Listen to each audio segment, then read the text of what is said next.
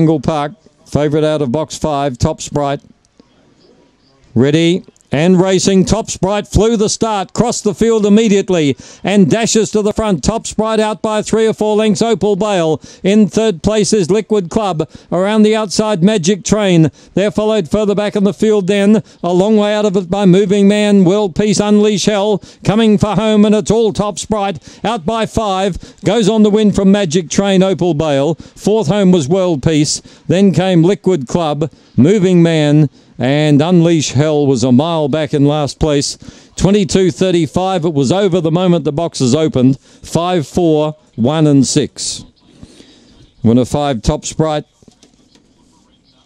Jet propelled from the boxes. Look at the early 987. 987 early. Home in 1248. Perhaps wind assisted early. 987 tailwind behind it. But uh, good effort. Top Sprite, a black bitch by Magic Sprite from Mac 10. Raced by Dwayne Jiggins.